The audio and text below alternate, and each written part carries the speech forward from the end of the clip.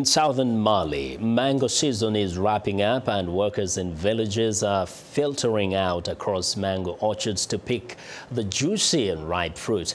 A processing facility in Bamako has the capacity to process 12,000 tons of mangoes per season for export.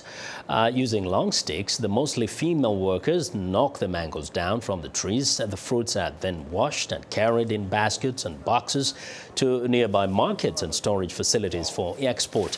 Mali's mangoes industry is regarded as one of the fastest growing sectors in the country, but this year's mango season has suffered following a coup in April that has slowed the country's economy.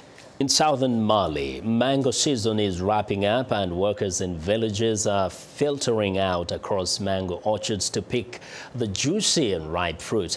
A processing facility in Bamako has the capacity to process 12,000 tons of mangoes per season for export.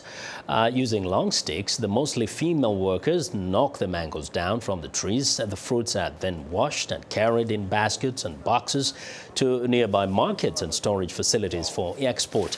Mali's mangoes industry is regarded as one of the fastest growing sectors in the country, but this year's mango season has suffered following a coup in April that has slowed the country's economy.